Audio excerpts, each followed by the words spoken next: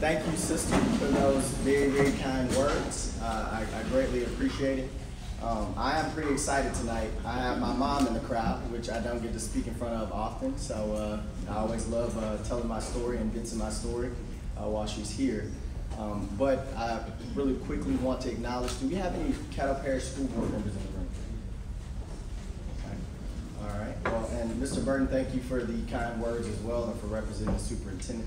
Um, I like to just congratulate them on the work that they've done this school year, and I'm happy to be here tonight. Uh, let me start by recognizing all the moms in the room. Uh, it's so fitting that this event falls on the week of Mother's Day. Can the moms in the room just wave, just, just put your hands in the air. I don't need you to stand there. Okay, good, good, good. Early happy Mother's Day to you. Sorry, fellas, it is not your night. it's not going to be your next couple days, so just, just get used to it. Uh, mothers are the rock upon which we build our lives, and they shoulder that burden so lovingly.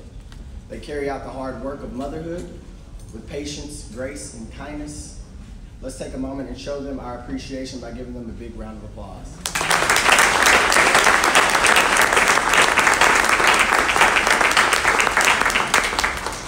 Also Teachers Appreciation Week, and I'm not going to let my sister outdo me. My favorite teacher in the whole wide world, my kindergarten teacher, is here tonight. Mrs. Dennis. And so, hey, Mrs. Dennis.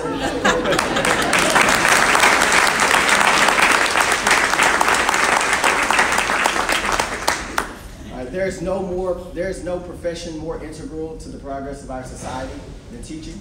Uh, and teachers don't do it to get rich.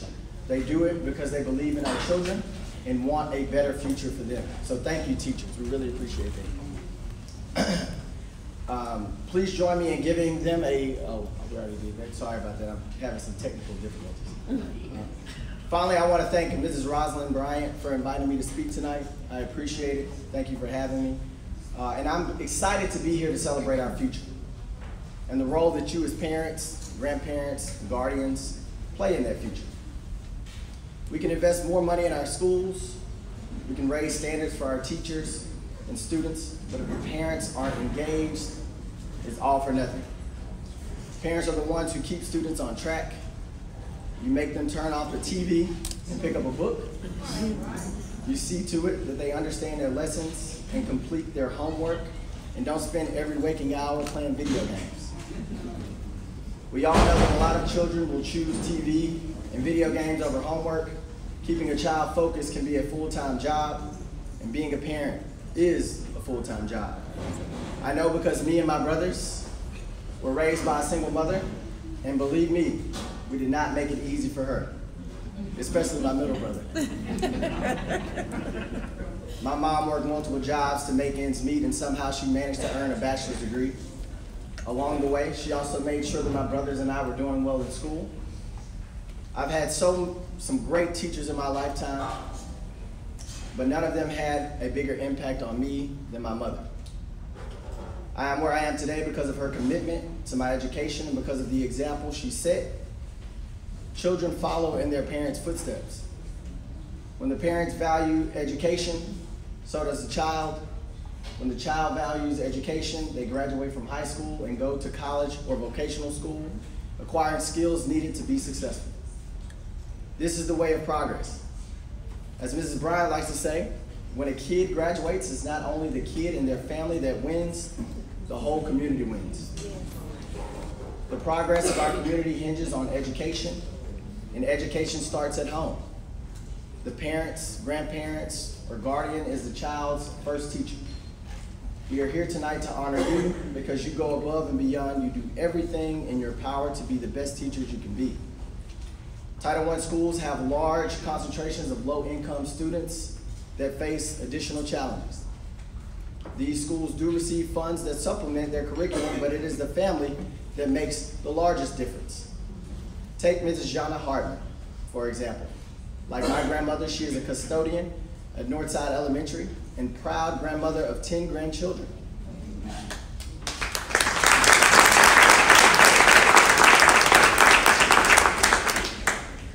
She goes to every Title I program. She gets every bit of instructional material. And she sits down with her grandkids to make sure they understand their lesson plans.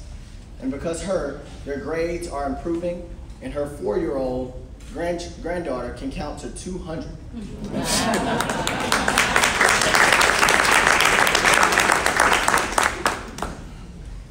and she also helps teach other kids how to read. So this is a very impressive four-year-old. But Mrs. Harmon doesn't stop with her own grandkids. She also invites the neighborhood kids over to her house to learn. She calls it Yana's Boot Camp. Mrs. Harmon is a sorry. Mrs. Harmon is a perfect example of parental engagement. School districts and socioeconomic status are not the only indicators of success. Key indicators that also include family and is measured by quality, not quantity. Love and support matter more than whether it is a single or two parent household. Simply put, when children are raised in a loving home that encourages them to learn and meet their educational goals, their performance improves. Some of you have expanded your family to include your child's classmates. You tutor large groups and volunteer your time to help teachers with day to day activities, which allows the teachers to invest more time in their classroom. This makes a huge difference. Because of you, our Title I schools are improving. Booker T. Washington, who we just heard from their beautiful choir, has improved from a D to a C school this year.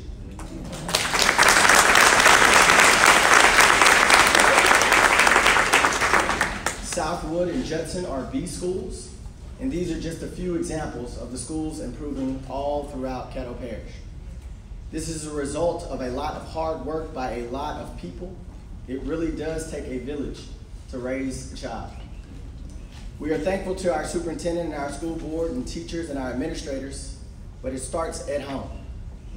So we are especially grateful for you. We are grateful to you, the moms and dads and grandparents and mentors that make incredible sacrifices to ensure that our children are getting the education they need to be successful.